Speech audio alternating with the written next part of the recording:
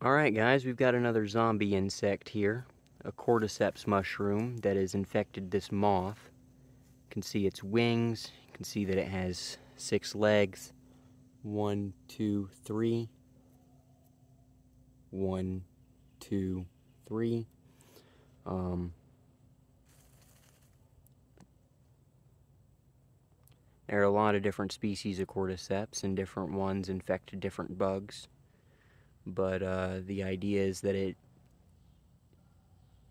gets into the bug's nervous system, tells it to climb up somewhere high, and then disperses its spores like this.